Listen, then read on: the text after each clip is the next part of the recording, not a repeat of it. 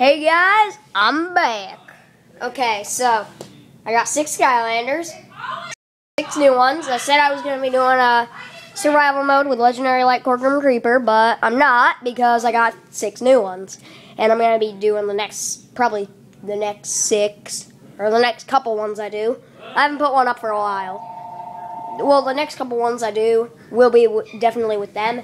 Anyways, I just wanted to show you guys my giants that I have.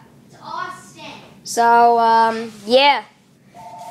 I got Hothead, obviously, Tree Rex, Eye-Brawl, Crusher, Swarm, uh, Bouncer, Ninjini, that's all of them, except for Thumpback, which is right here. So I have all of them, and I have two variants. I have Gnarly Tree Rex and Pumpkin Eye-Brawl.